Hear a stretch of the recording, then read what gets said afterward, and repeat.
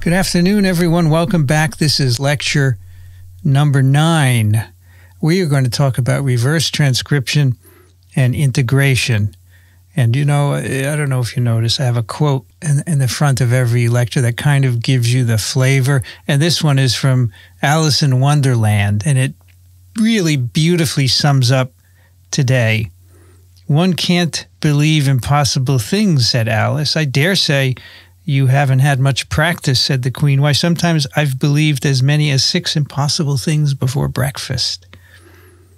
So this story begins in 1908 with the discovery of chicken leukemia virus. That is a virus, as the name implies, causes leukemia of chicken. However, back then, we didn't think that was cancer because people only thought solid tumors were cancers.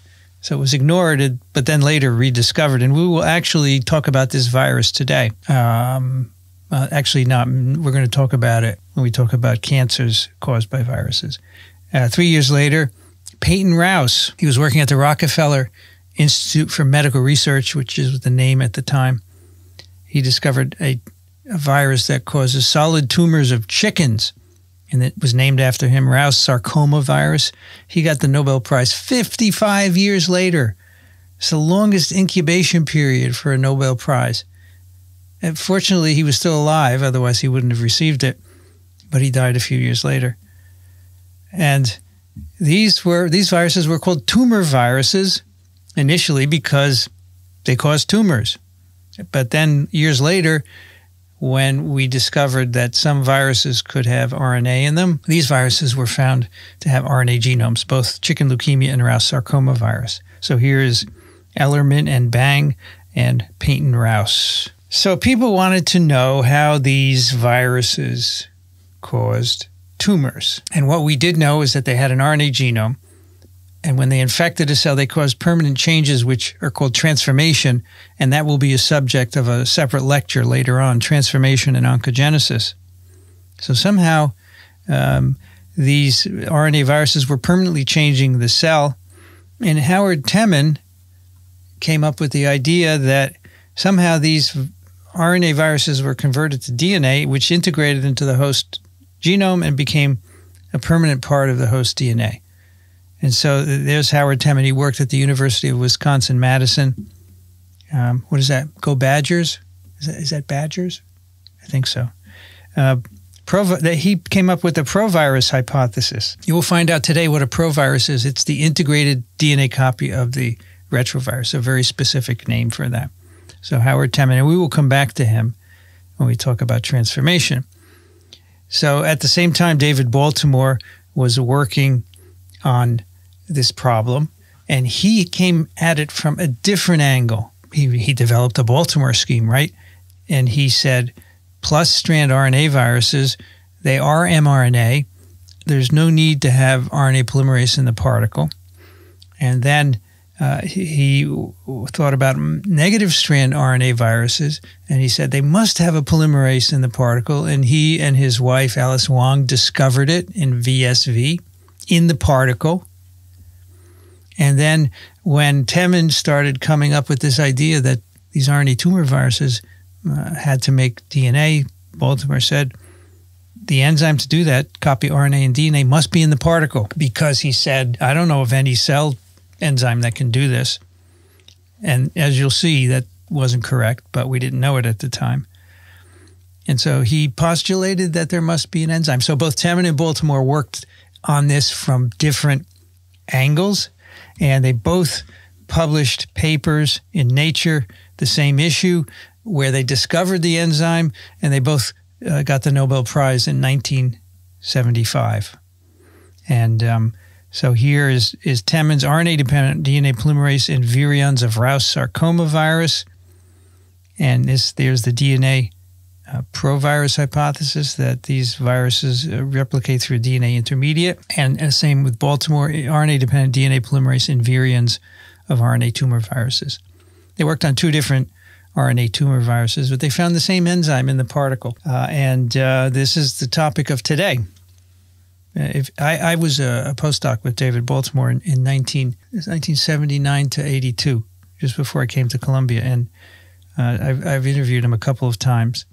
Uh, on TWIV 100, he, he talks about uh, his discovery of that enzyme. So the enzyme is called reverse transcriptase, and they called it that because uh, the ability of the enzyme to reverse the flow of genetic information, the famous dogma of molecular biology. DNA goes to RNA to protein. This enzyme goes RNA to DNA, but not the protein from DNA, of course. Then the DNA goes back to RNA and protein, as you will see. So reverse transcriptase. This enzyme has revolutionized science, in my opinion, molecular biology. It has enabled us to make DNA copies of genes. It has, and you can use that for making therapeutic proteins, for making vaccines, for making vectors, almost everything we do, every SARS CoV 2 nucleic acid diagnosis, or most, yeah, every one depends on reverse transcriptase to copy the RNA into DNA before you do the PCR or whatever other amplification, LAMP amplification, or whatever it is. They all depend on RT, and you can buy this from many different companies. Um, so it's amazing. Uh, all of the many of the vaccines, I should say, depend on making DNA copies of genes that you can use in the vaccine. So it's it's just amazing what this has done, and neither scientist patented the enzyme. So the uh, viruses with reverse transcriptase that we'll talk about today are shown on the Baltimore scheme, and they include the retroviruses. So the RNA tumor viruses I just told you about, they're retroviruses that they were later renamed from RNA tumor viruses to retroviruses. Retro, reverse transcriptase. They have a plus stranded RNA in their particle, which is copied by an enzyme in the particle to double stranded DNA. And then we're going to talk about hepatitis B virus, which is a DNA virus, but it has reverse transcriptase in its reproduction cycle. It actually encodes it in the genome. It is present in the particle. We'll see how that works out. So those are the uh, well, those are the two kinds of viruses that have reverse transcriptase in their reproduction cycle, but only the retroviruses uh, integrate into the host DNA genome, which is one of the questions from the exam, if you remember. All right, so Rous sarcoma virus from uh, uh, Peyton Rous is a retrovirus, and here is a, a, an electron micrograph of it. They're envelope viruses with a dense core, a nucleocapsid in the middle. Here's a schematic. Uh, there's the membrane. There's glycoproteins uh, embedded in the envelope, of course, always when the virus has a membrane, always has glycoproteins in it. And this is called the surface glycoprotein. It's a spike, basically. Uh, then inside there is a nucleocapsid. It's a protein shell with a protein shown in red, and inside that is the RNA genome. It's a plus stranded RNA genome. And there are two copies of it. So you could say these viruses are diploid. And that plus stranded RNA is coded in nucleocapsid protein, NC. Also present in the particle are other proteins, including reverse transcriptase. It has to be in the particle because as soon as this gets in the cell, it's going to be copied to DNA. There's also another protein called integrase, which we'll talk about, and there is a protease. That's important for maturation, which we'll talk about next time. So that is um, the way the virus particle looks. And here's the genome. Now, our retroviruses, we, we divide just for sorting things out into retroviruses with simple genomes, uh, like Rous sarcoma virus. This is avian leukosis virus. That's the chicken leukemia virus. It's a different name for it. Here's the viral RNA, uh, which is packaged in the particle. It's a typical mRNA. It's got a cap, it has a poly A tail, and it codes for three uh, general regions the GAG, the POL, and the envelope. They're called the envelope is the spike, of course. Polymerase is the reverse transcriptase, and the GAG encodes the structural proteins uh, that make, like the nucleocapsid and the uh, the um, protease, and the capsid protein itself, etc. This uh, RNA is translated to form a GAG-POL precursor, uh, and then that is processed by proteases to give you the GAG proteins and polymerase separately. And then to get the envelope protein made, you have to have a splice. The RNA has to be spliced and remove out the GAG pol region, and now you have an envelope mRNA, and that gives rise to the SU, the spike protein. This uh, RNA is made in the cell from an integrated DNA copy of the viral RNA. It's called the proviral DNA. So when I say proviral DNA, it means integrated. It has very specific features that we'll talk about today. You can see it's got two sequences at either end called LTR. That's long terminal repeats. We'll talk all about them. And then the genes for GAG, POL, and envelope are uh, shown there. Viruses with complex, retroviruses with complex genomes include HIV, and that gets its own lecture later on in this course. The reproduction cycle is shown here. The viruses bind to receptors, many different kinds of receptors for retroviruses. Um, some of these fuse at the cell surface, at the plasma membrane, and the nucleocapsid comes into the cytoplasm. The RNA stays in the capsid, it doesn't leave, which is one of the reasons why it's not translated. The ribosomes can't get to it. The um, RNA is then made into DNA right in the cytoplasm within the capsid and then that goes, the DNA goes into the nucleus, it integrates, becomes a provirus, and there it's transcribed to form messenger RNAs, which give rise to all the proteins that are needed to make new particles. We will talk about the assembly of these viruses later on, but the key here is that this is an integration event. Someone is asking, retrovirus has an icosahedral capsid and a helical nucleocapsid. So this this shell is um, icosahedral, but the, the, the RNA protein is not helical. It's not arranged with that kind of helical symmetry that's characteristic of other uh, negative strand RNA viruses. It's very much like the coronaviruses. They have a plus strand RNA genome uh, bound up uh, by a nuclear protein. But so we don't call that helical nucleocapsid. I would say that it's an icosahedral nucleocapsid in this case. In the case of SARS-CoV-2, there's no icosahedral capsid. So we do call it a helical nucleocapsid in that case. So reverse transcriptase, here's some features of it. It is a primer dependent enzyme, requires a primer. That primer can be DNA or RNA, and we'll see how that works in a bit. The template also can be DNA or RNA, RNA or DNA. So first in the in the infected cell, it's RNA, and then as you'll see uh, later on, you have to make a double-stranded DNA from the single strand that you make, and that's done by RT. However, it only incorporates deoxy NTPs, not ribo NTPs. It does not make RNA. It only makes DNA from either a DNA or RNA template. So, again, the, the basics are the same as we've talked about for other polymerases. There's a template that's read in a 3 to 5 prime direction and primer dependent synthesis, uh, template directed in a 5 to 3 prime direction. A little bit more on reverse transcriptase. Turns out that it's in cells.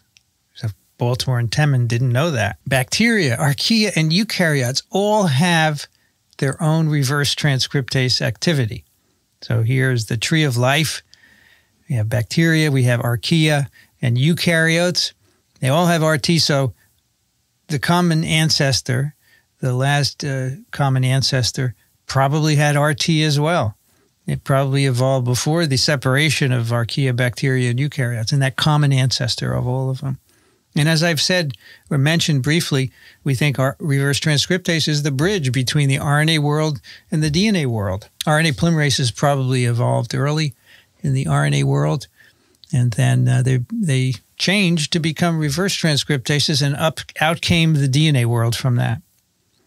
So cells have them, uh, but they're very low levels in our cells, not enough to reproduce retroviral genomes. That's why the retroviruses have to bring in their own reverse transcriptase.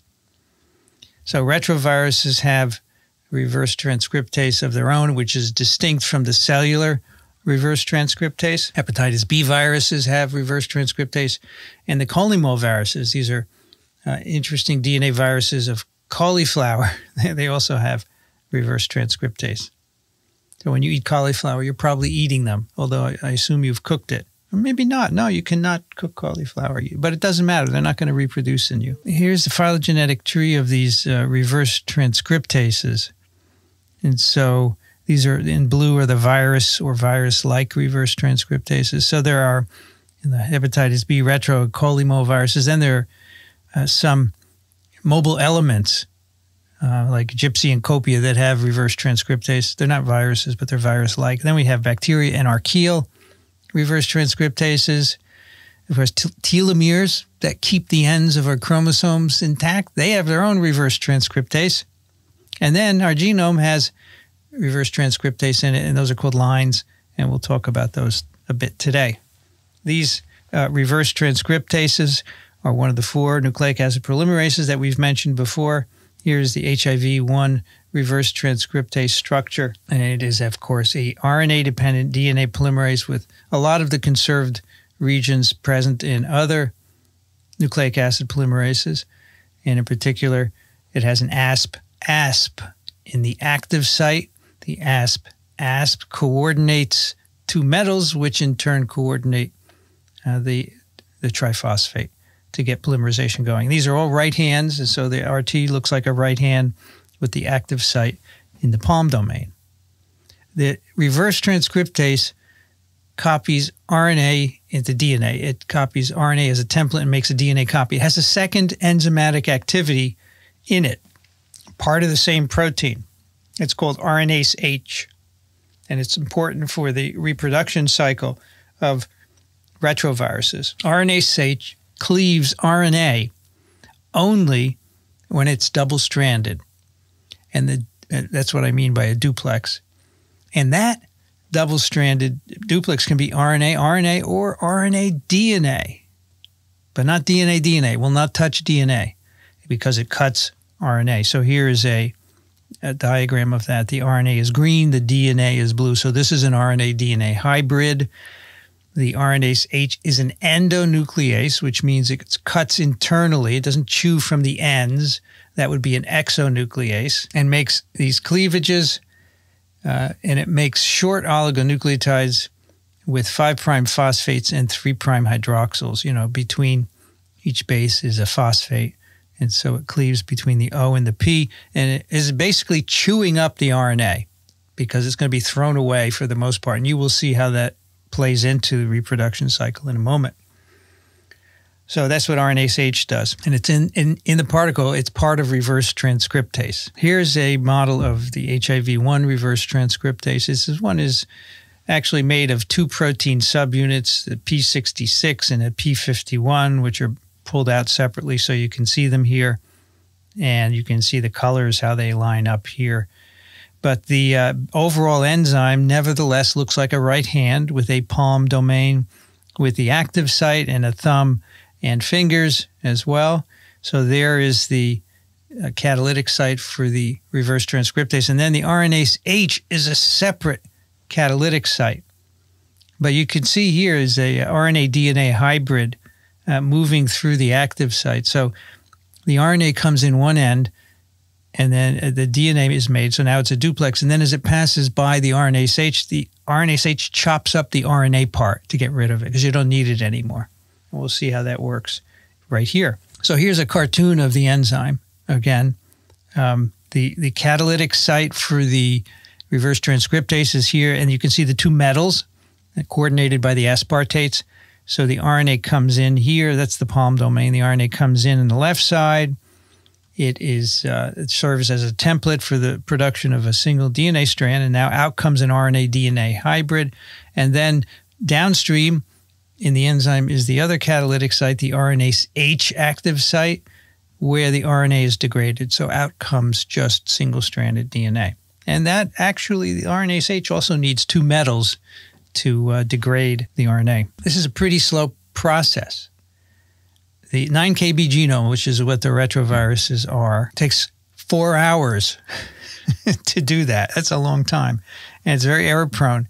Makes one mistake per 10,000 to a million bases.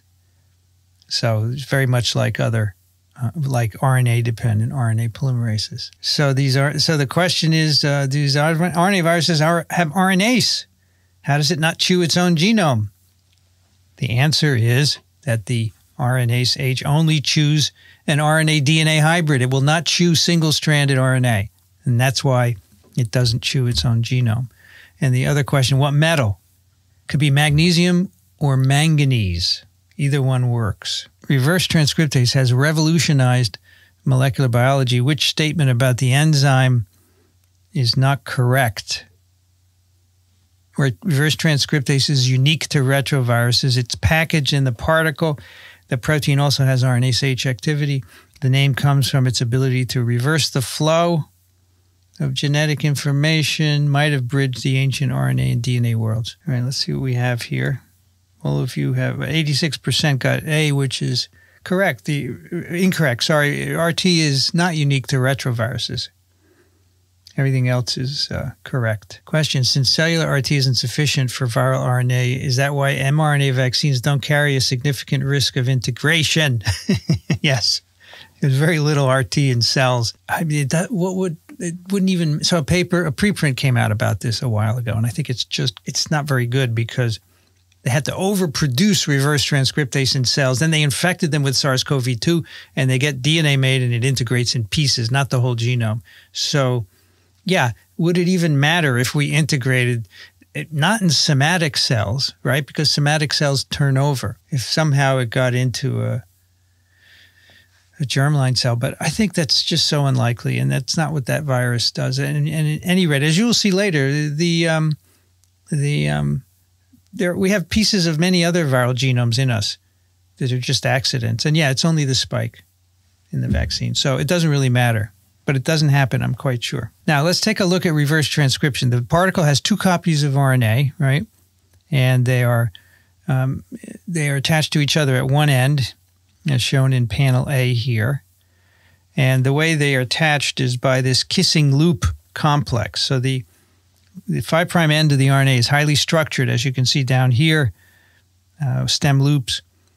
And um, these, these stem loops are complementary to a, a different part of the other, actually, the same part of the other RNA uh, because they're inverted complementary sequences as shown here. So the, here's one RNA in the second RNA.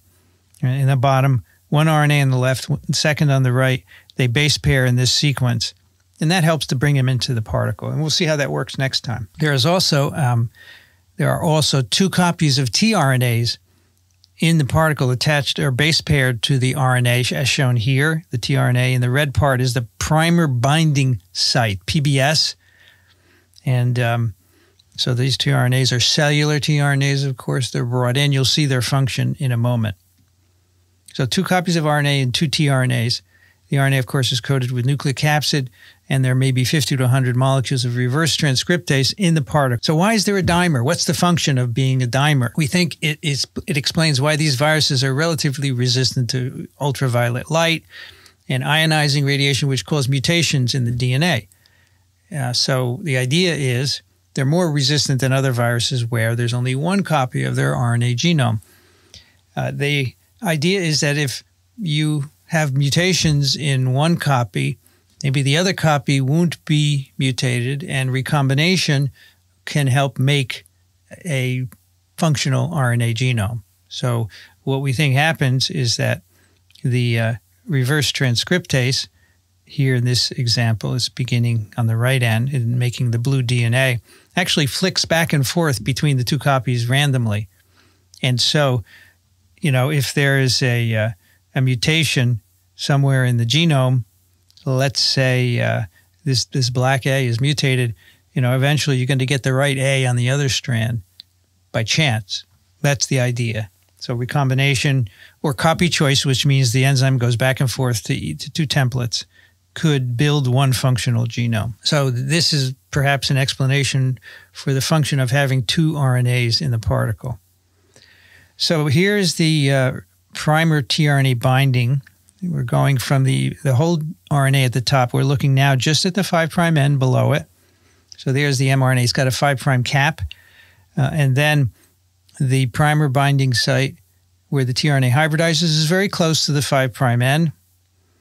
And uh, you can see how this tRNA kind of fits into the RNA. The RNA has a stem loop structure in the absence of the tRNA, and the tRNA base pairs and kind of disrupts the middle of that that loop there. And uh, these, um, you know, different retroviruses have different tRNAs. This, this avian leukosis virus the tRNA is tryptophan, and other other retroviruses have different uh, tRNAs. And you can also see here that there are uh, sequences that are labeled R and U5. We're going to come across those again. They're important, as you will see. Uh, and these are inverted repeats, inverted repeat left, and in the, the central inverted repeat. So these are long terminal repeats uh, that are going to be built from this, as you will see. So let's talk about reverse transcription. The particle binds its receptor, it fuses at the plasma membrane. The nuclear capsid comes into the cytosol, it becomes permeabilized, so it's not intact, so that triphosphates can get in. And then the reverse transcription happens all in the cytoplasm. So let's go over that process. A really interesting process. So here we have the RNA as it uh, is in the particle. 5' end, the primer binding site with its tRNA, uh, and then the 3' end. And I've looped these around because that's how it works. Um, there are these R and U5 sequences in the PBS. And at the 3' end, there's R, U3, and a different one called PPT. And we're going to see what they do. The R's are identical, but the U5 and the U3 are not. First thing that happens is reverse transcriptase uses the tRNA as a primer and starts to make DNA, which you can see in this second panel. So now you have U5 and R DNA. They're the complement of little u5 and little r. Okay. Reverse transcriptase makes that. RNase H chops up the RNA. So now we have a little, a small piece of DNA. It's, it's 100 bases. It's very, very short. And uh, this big R will now be able to hybridize with the little r because it's complementary and this is going to, the enzyme, as you'll see in a moment, is going to continue copying around this circle right here. So here we have the base pairing of R and R or annealing. That's called the first template exchange. Why? Because it's gone from one end of the molecule to another. And then the reverse transcriptase will continue to copy the RNA, as you can see here, eventually go all the way around. And as it's moving, the RNA is degraded right? You see the RNA is, is going away. However, there's one piece left called PPT, polypurine tract, and that's going to be a primer for the other strand. And in fact, even before the first DNA strand is done, this PPT starts to prime the complementary DNA strand. So the light blue is the complementary strand. And it's got the tRNA is still attached at this point. And then we've copied all the way around. We've now copied that first strand. Where does this occur in the cell? In the cytoplasm, in a subviral particle. The partial capsid is still around it. And so now that you make a copy of the primer binding sequence where the tRNA is bound to, right? And then at the same time, uh, the DNA, the second strand is, is being initiated from the PPT RNA primer and it is copying the primer binding site from the tRNA. So the T- PBS is copied twice, once from the RNA genome right here, and once from the tRNA primer. Eventually, RNase H removes uh, these primers, the PPT and the tRNA, so that we can start making the second strand. Now you have you can notice here the light blue is flipped around.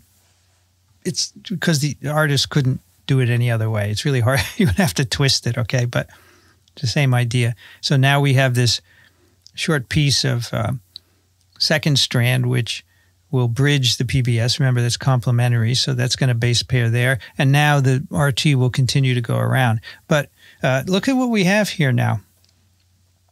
We've made something unique here. We have now R, U5, R, U3. And before we didn't have all three. We had uh, either U3 or 5 and R. R was present on both. Now we have all three, and that's going to be important in a moment.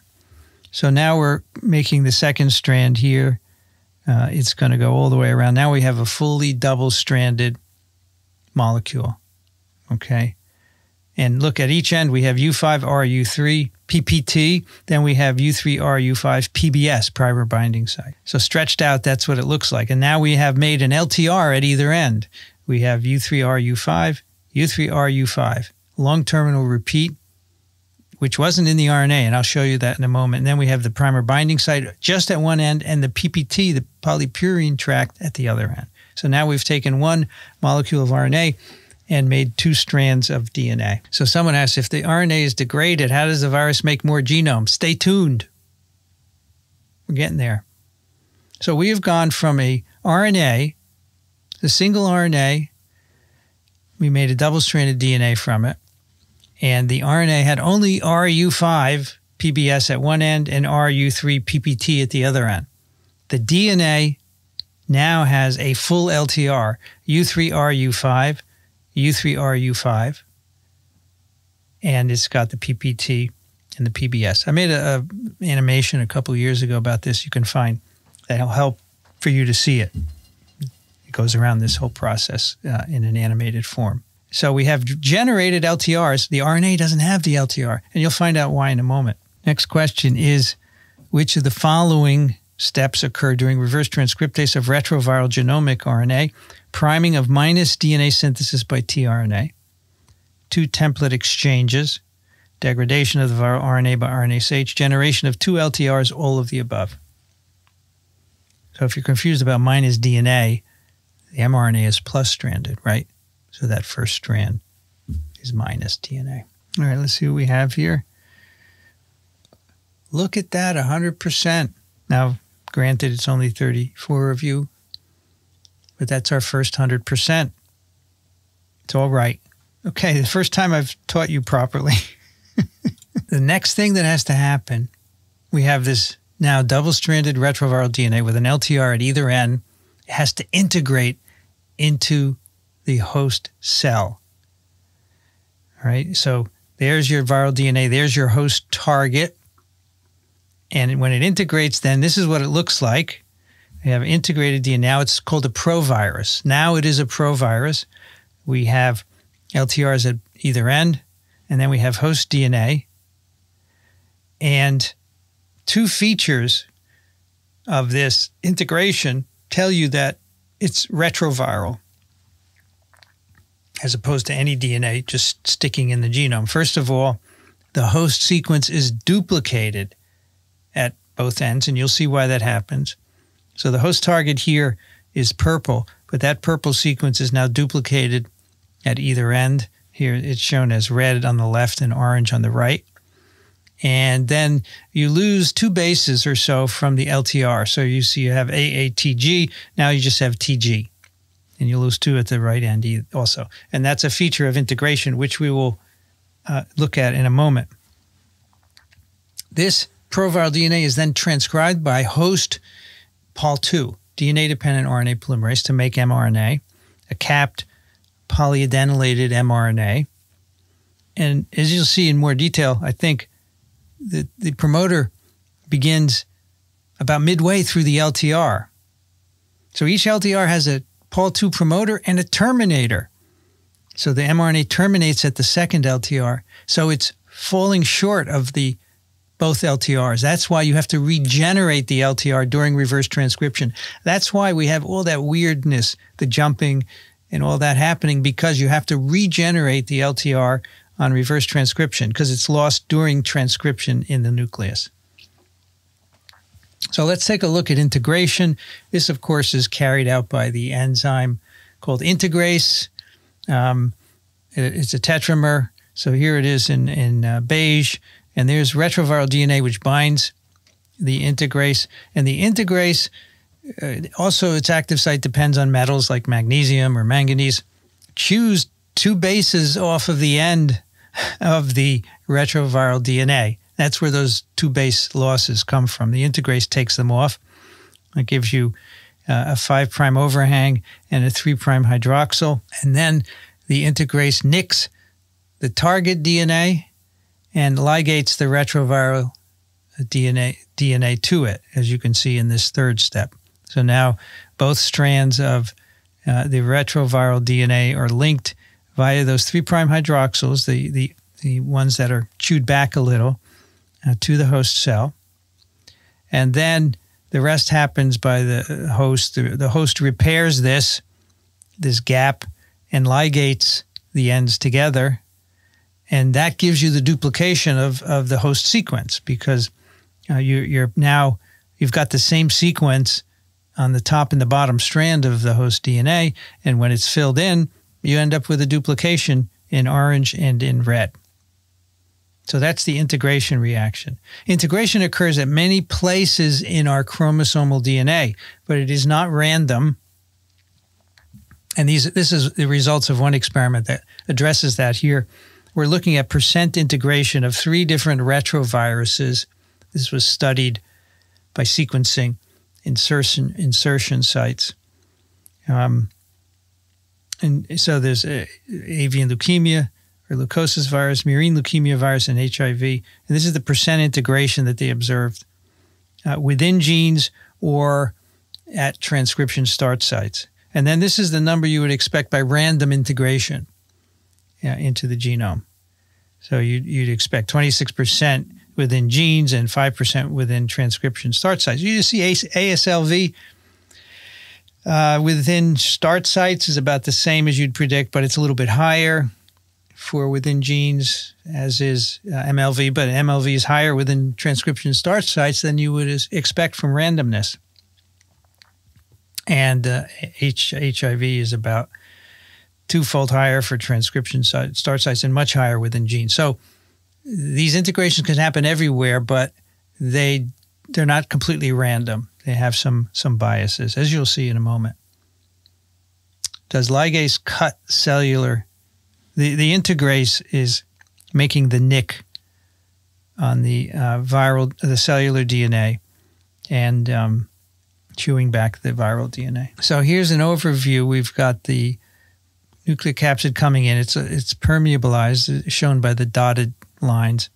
And then reverse transcription happens in the cytosol. And then the DNA goes into the nucleus and it then integrates. And the integration is mediated by integrase, of course. That that's the TAN protein shown there, but there are also other protein-protein interactions. So now, once that retroviral DNA gets in the nucleus, it's coated with nucleosomes. So our chromosomal DNA, of course, is already chromatinized, and as soon as the retroviral DNA comes in, it's coated uh, with nucleosomes as well, and um, interactions between uh, various proteins guide integration. And, and, I'm showing that to you on the right here in, an, in a blown up version of what's going on in the nucleus.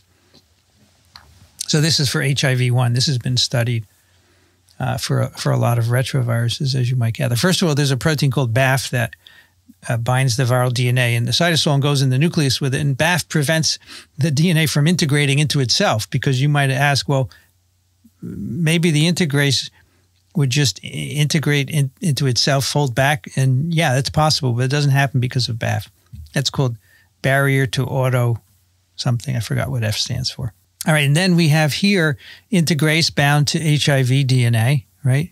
And you can see integrase is interacting with this protein called LEGF, which in turn interacts with nucleosomes. And so that's what is directing uh, the uh, integration.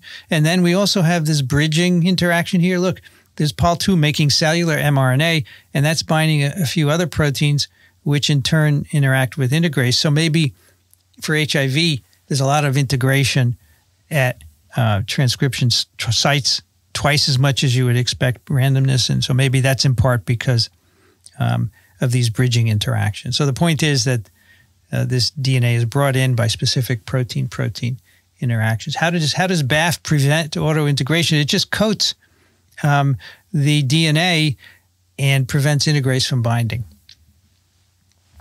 So here's a summary of what we've just talked about. We have one DNA made from two RNAs by reverse transcription. So that from one particle, two RNAs, you end up with one double-stranded DNA, not two, just one. Uh, you you build a strong promoter within the LTR. The promoter is in each LTR actually, and so is a terminator and the left end LTR serves to initiate transcription, and the right end serves to uh, terminate it. But there is a strong promoter here in the right hand LTR. So if this um, integrates near a gene, it could turn the gene on. And we'll see examples of that later. Someone asks, is BAF only present in retroviruses or in all for all cells with RT? Uh, well, BAF is a cellular protein, and it would be preventing auto integration of any uh, viral DNA that would try to integrate, which is retroviral. So the proviral DNA, which is integrated, the host transcriptional machinery recognizes this left-hand promoter and makes viral mRNA, and that's going to give rise to viral proteins, but it's also going to be packaged into new virus particles. Right? The mRNA is translated or encapsulated. And when you think about this, there's as as we have looked at this so far with RNA and DNA viruses, there's no DNA replication, there's no RNA replication, right? It's it's amazing. There is no RNA dependent RNA polymerase that makes genomes. There is no DNA polymerase that makes DNA genomes. What we have is the integration. This DNA, of course, is duplicated along with the chromosome uh, when the cell divides. Um, but there's no viral enzyme doing that. And, and the new genomes are made by Pol2. We have reverse transcriptase, which just makes the DNA copy, and then everything else is done by the cell. It's really remarkable integration. And the summary is here. We've talked about, again, the RNA in the nucleocapsid is copied to DNA right in the cytoplasm. The DNA integrates, and then the provirus is transcribed by the host cell to make proteins, to make mRNAs that are translated into proteins to build new particles and to make genomes that are encapsulated. So some of those mRNAs you see are coming out and being encapsulated, and we will talk about that later. The provirus is a permanent part of the host genome. Now, if the cell dies, it doesn't matter, right? So HIV 1 infection kills cells. Not all of the cells it infects, though. It infects um, some uh, hematopoietic stem cells that live forever, and that's the problem because they have a provirus in them and we can't get rid of it. Once this DNA gets in, it doesn't go out again. It only the virus only gets out by transcription to make mRNAs that are put into particles. And in many organisms, the the virus, the retroviruses that infect them, infect germ cells, sperm and ova, and they become a permanent part of those cells as long as they don't kill them. And then they're passed on to their offspring. And so that's why our cell genomes are full of ancient and modern, what we call retro elements, derived from uh, infection of germ cells by, re- by retroviruses, a process we call endogenization. So many in humans, for example, many years ago, hundreds of thousands or thousands, tens of thousands of years ago, someone was infected with a retrovirus that integrated into their germ line. They started to pass it on to their offspring. More and more people uh, acquire that endogenous retrovirus. Over years, it sustains mutations, so it can then differ from person to person. Sometimes it can be lost. Other times it's fixed, and we actually use some of the genes uh, that are present. But in humans, we have lots of these endogenous retroviruses, 8% of our genome, right? None of them make infectious virus. They're all mutated. And so they're, they're quite old. But in other species like mice, they have endogenous retroviruses that do make infectious particles that can infect other animals. Now, this process of endogenization, that is, a retrovirus infects the germline and is then passed on to offspring. We can see it happening now in real time in koalas, which of course are native to Australia.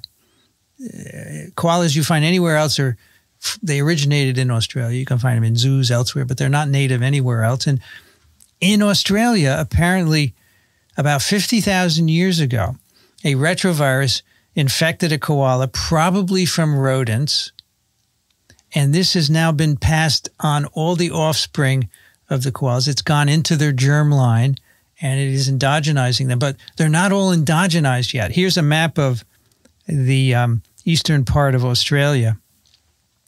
And these pie charts show uh, of the number of koalas that have been checked, how many of them have endogenous koala retrovirus sequences in their germline and in all their cells, of course, because the germ this the germ cells contribute to all cells. So you can see in the north, they're all endogenized. But then as you move south, you have larger and larger fractions. And on some islands, no koalas are yet endogenized. However, uh, these viruses are spread among koalas by, by sex, by contact. Um, so eventually they're all going to be endogenized. And that's a problem because this retrovirus, the koala retrovirus, causes an immunosuppressive disease, and these animals get other infections and it kills them kind of like HIV AIDS in people. And so, uh, you know, colonies have been established outside of Australia that are koala retrovirus free. Uh, and in Australia, they're trying to figure out what to do about this. Otherwise, they will lose uh, all of these these cute animals. But you know, for us, it's endogenization in process. It, we can't see it in humans because you know everybody, all humans are endogenized already. So it happened a long time ago. But we can see it happening now. We can study it spreading and so forth. Uh, the question is Are these viruses evolutionarily pressured to confer benefits? Most of them are not. Most of them sit in the genome, they're trashed, they're mutated, they don't do anything. So I think they're just there, they're harmless, and we can accumulate, we can accommodate them. We have a big genome, it doesn't matter. 8% of our DNA, mm, what's the difference? But we have used some of the genes, as I'll show you in a moment. So there is some benefit. Now, uh, together with this discussion, we have to talk about retroelements. This is different from a retrovirus. A retroelement is a sequence that moves around in our genome or any uh, life form's genome by reverse transcription. So we have among those endogenous retroviruses, ERVs, which are integrated proviral DNA in our germline, right? And end up, it ends up in every cell. As I've told you, these are eh, often replication defective in humans. They all are. But 42% of our genome is made up of mobile genetic elements, uh, all of which move, many of which move around by reverse transcription. So these endogenous retroviruses and all the other retro elements move around. And what do I mean by that? So here we have um, a copy of, say, here's our, our cellular DNA down here. This is some kind of retrotransposon. That means a, a DNA element that can move around by reverse transcription. This could be an endogenous retrovirus or any other of the retro elements that I'll show you in a moment. So you make mRNA. That's the mRNA there in red. And then just by chance, accidentally, it can be copied to DNA because our cells have reverse transcriptase. And even more rarely, it will integrate. So basically, this gene is now jumped somewhere else. It's duplicated itself and integrated somewhere else. So that's how we have so many. We have 42% of our genome is retro elements.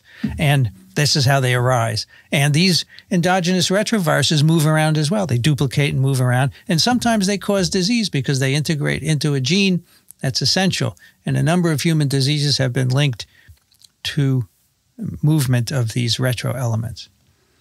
All right, so here are the numbers and the different kinds of retro elements in the human genome. This is, in, this, to me, this is fascinating. So we have 42% of our genome retro elements. And again, a retro element is just a gene that can move around by re reverse transcription. 2.7 million copies of various retro elements, uh, 42% of our genome. Uh, we we divide them into non-LTR and LTR containing uh, retro elements, and the, these the LTR containing ones include endogenous retroviruses, which got there by some kind of an infection. You know, about eight percent of our genome, but then we have all these others were there before retroviruses ever existed. So we have some LTR containing retrotransposons that predate retroviruses. Then we have non-LTR uh, retro retro elements as well. And of all these, less than 0.05% are active, meaning being transcribed. So most of them are just silent. So here are the different classes. Endogenous retrovirus, this is a consequence of a retroviral infection at some time in the past. And as I said, over time, these mutate and lose infectivity. Then we have retrotransposons. These are probably the precursors of retroviruses. These were here first, two LTRs, a GAG, and a Pol gene, but no envelope. This is not a virus. There's no envelope. And what happened was somehow an envelope gene was stolen from somewhere and it made this into a retrovirus and it left the cell and that started the retroviruses. But retrotransposons were there first. Uh, okay, so those are the two kinds of LTR retroelements we have the retroviruses and the retrotransposons, which is not a retrovirus, it's a precursor of them. Uh, then we have non LTR retro elements, including lines. These are long interspersed nuclear elements. A lot of those in our genome. Uh, they, they consist of, there's no LTR, but there's a duplicated host sequence at either end. And, and in fact, in many of these, you can see all of them, they have the duplicated sequence, which is characteristic of integration, as I showed you. Um, so lines have a don't have LTRs, but they have open reading frames, and they encode uh, reverse transcriptase, so they can move themselves around, uh, as can retrotransposons and endogenous retroviruses. But e- even if you don't encode reverse transcriptase, which these last two categories do not, they can still move around because they can be copied by RT made by these other retro elements or by uh, RT that's floating around in, in the cell. So these are processed pseudogenes or signs, short interspersed nuclear elements. And these are just mRNAs that were copied by RT and they integrated somewhere else. So they have no introns. That's why we call them processed. And they move around. They mostly do nothing, but they can disrupt another gene. So the question here is RT can bind DNA and excise it and move it. No, it's not. It's copying mRNA that's produced by transcription of a gene and making a DNA copy, which will then integrate somewhere else. Now, I'm going to give you a couple examples of how uh, organisms have, have used genes provided by retroviruses. So, one of the genes is the envelope gene in the retroviral genome. And the envelope, of course, is the spike, which allows the virus to bind to a cell receptor. It does then, it then allows fusion to occur between the virus and the cell membrane.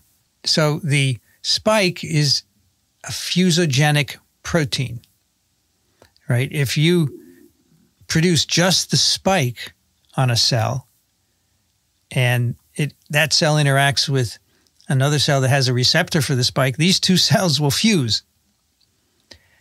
And it makes a syncytium, right? Remember, we talked about that a long time ago cell cell fusion. Well, it turns out that we and many other non human primates have stolen the envelope gene to help make our placentas. So it's now called syncytium, syncytium 1 and 2.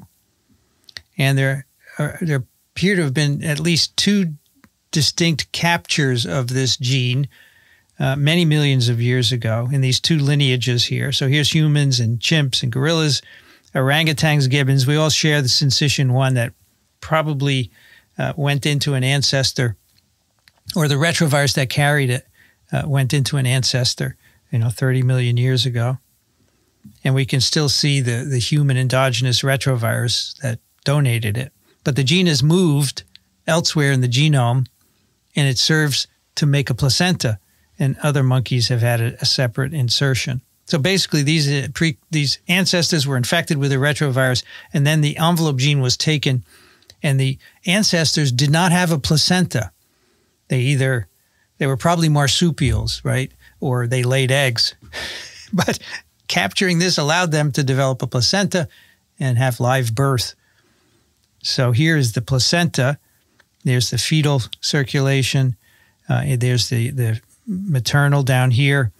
And this layer of cells, the syncytiotrophoblast, is all one fused cell layer, very important uh, in the structure of the placenta.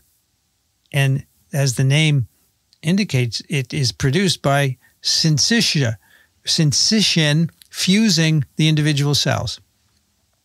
So our placentas wouldn't exist without a retrovirus infection many, many millions of years ago. We'd be laying eggs these days.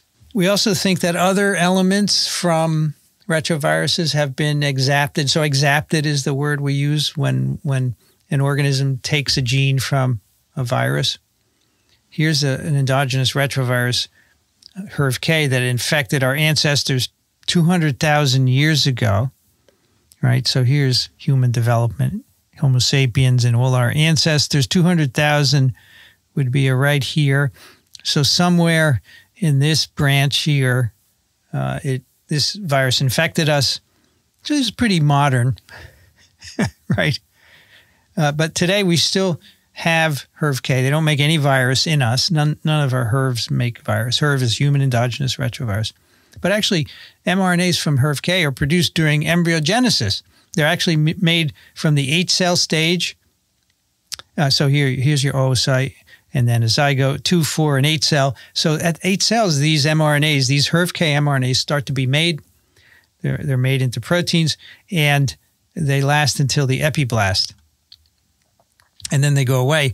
But we we think they induce an antiviral protein, and maybe that's they're protecting the early embryo from infection in some way. We actually don't know the function, but they're made.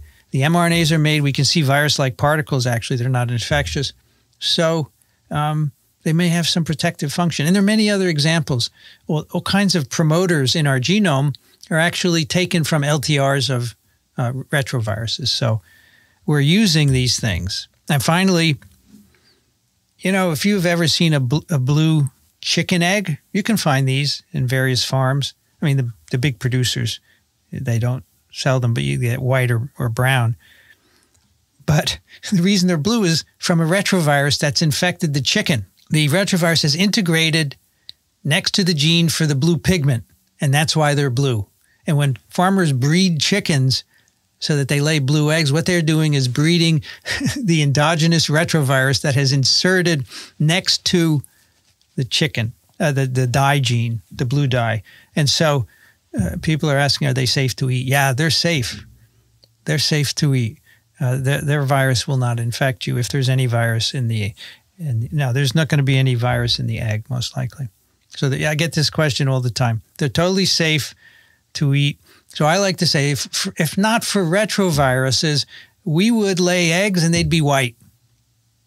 Humans laying white eggs. Or I, I don't know if that's right. If our ancestors laid eggs or if they had um, if they were marsupials, but it's it's kind of funny, right? Do they taste better in blue? it's just the shell, but they're cute, right? They look great. Uh, our last question for today: Which of the following statements about retro elements is not correct? There are many copies in the eukaryotic genome. They are currently in, entering the koala germline. Those in the human genome produce infectious viruses. They can be beneficial or none of the above. The wrong statement is those in the human genome produce infectious viruses. They do not. So others of you said what's wrong is they're currently entering the koala germline. They are, and that's why it's cool because we can see them. They can be beneficial, right? We got syncytium from them, promoters. Okay, so that's the answer. So let's end up talking about the other uh, virus where reverse transcriptase is in the in the reproduction cycle. And this is interesting because it's a DNA virus, a hepatinovirus or hepatitis B virus. These are enveloped virus where the we have an icosahedral nucleocapsid, and the um, you know the envelope has spikes in it, inside the nucleocapsid is this weird gapped, partially double-stranded DNA with a with an enzyme, or protein attached to it, and an RNA. And the protein is you know, reverse transcriptase, as you will see here, and we'll, we'll, explore what the RNA is in the moment.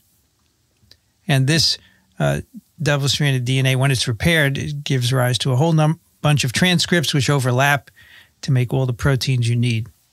So, how does this work? The virus binds, excuse me, to the plasma membrane.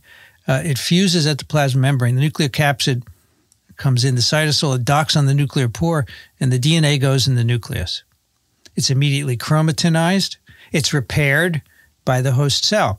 The host cell enzymes take off the protein, they take off the RNA, they repair the single strand. Now we have closed circular uh, DNA and it's uh, chromatinized. It can now be transcribed to make mRNAs, which go out in the cytosol. And those uh, mRNAs go on to build a capsid. And um, the mRNAs go inside the capsid. And also in the capsid is reverse transcriptase. So the RNA uh, is converted to DNA. And so here, this is weird because the reverse transcription actually happens in the cytoplasm before the virus is released from the cell. Remember, the retroviruses have RNA genomes, and their reverse transcription happens when they infect cells. These these particles can't wait; they start to reverse transcribe um, before they even leave the cell, and eventually they're brought out, released from cells in, in vesicles like this one, and they acquire their spikes by budding into the ER, as you can see here. Then they move away from the ER in vesicles to be released. And by the time they get out, they have that gapped DNA in, in them with only a small piece of RNA left. So reverse transcription all happens in, uh, during the assembly of these viruses. And there's no genome integration, right? The transcription occurs by transcription of that closed circular DNA in the nucleus that comes in. Uh, and, um, excuse me, it does not integrate. And that genome, that, that DNA makes the mRNAs that gives rise to proteins as well as new genomes uh, in the new particles. So let's take a look at this reverse transcription.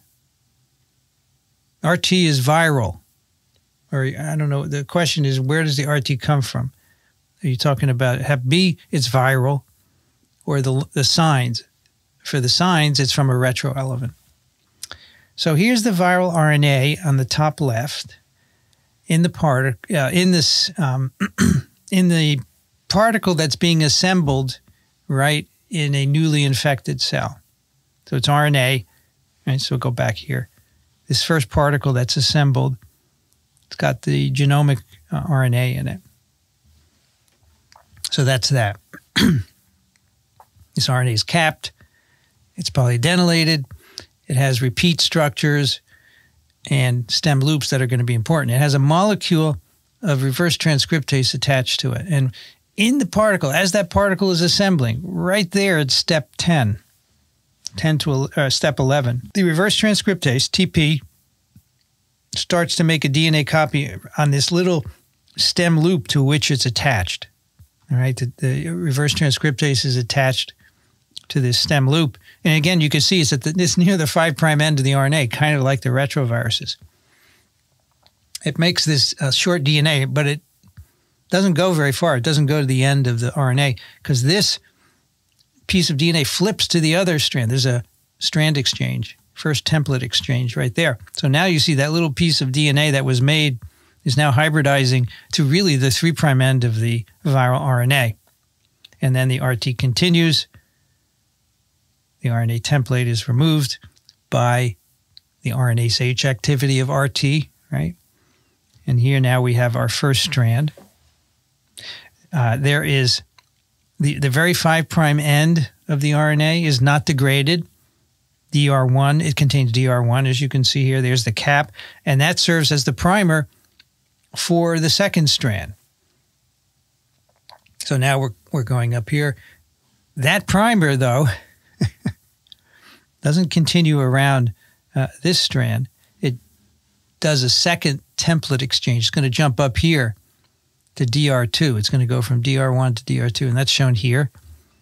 So now we have the RNA primer. It's left the 3' end. It's starting to copy uh, towards the 5' end of this uh, of this DNA. So that, then we have it here, right? We got to the end there, and now uh, it it starts to go to the other strand again. So this 3' R, you can see now it's hybridizing with the newly synthesized second strand. And the second strand is made, but it never finishes. And you end up with this. And why doesn't it finish? Because this is inside the capsid and it runs out of triphosphates the capsid is closed. And when it closes, it grabs a bunch of triphosphates from the pool in the cell. And when RT commences, it can only go so far. So you make a partially double stranded molecule. You can see there are parts of it that are double stranded here. A lot of it is single stranded because the RT stops. That's all that single strand. You have a piece of RNA left, the primer for the second strand is left. That's what the RNA is from. It still has a cap on it, left over from the RNA. And then the protein is stuck on the end. That's the reverse transcription. It's transcriptase, excuse me. Does that mean that the gap size would vary? Yeah, depending on how many triphosphates were captured, right.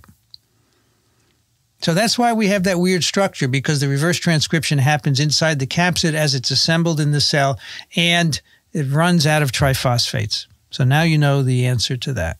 Weirdness, isn't it? It's just weird. So here's what we've talked about today. We've talked about retroviruses, which package RNA. So in this picture, what is yellow is in the virus particle. So for retroviruses, the RNA is packaged, and when the virus infects a new cell, it's converted to DNA, which are then, of course, integrates into the genome. And the hepadnaviruses, on the other hand, package DNA. They actually package RNA in the beginning, right, in the host cell, but it starts to reverse transcribe before that virus leaves the cell. So the virus particles made and released from the cell end up having DNA in them. Yes, it's, you could consider it just short of finishing the job. Absolutely. Leave it up to the next cell. And this, of course, gets repaired in the next cell that's infected. But there are other uh, retroviruses, uh, not, not retroviruses, I would say retroid. They have reverse transcriptase in their reproduction cycle. So hepadnaviruses are not retroviruses, but they have reverse transcriptase. Um, and these others have reverse transcriptase. So foamy retroviruses, these are actually retroviruses related to other retroviruses, uh, but they package DNA. Uh, I mean, uh, maybe 5 to 20% of virus particles have DNA, probably for the same reason uh, as uh, hep hepatitis B viruses package DNA. They first put in RNA, like other retroviruses, then begins reverse transcriptase um, before it leaves the cell. And then we have these plant uh, retroid viruses, Fowler mosaic virus, which package DNA for the same reason as hepatitis B virus. They actually initially package RNA in the cell as they're assembling and it becomes reverse transcribed uh, before uh, it leaves the cell. So there's not just one way to do this. Obviously, you can do reverse transcription in the way in or on the way out. All right. So next time we're going to talk about assembly of virus particles. We're going to talk about how you put together the different kinds, icosahedral nucleocapsids, uh, and so forth.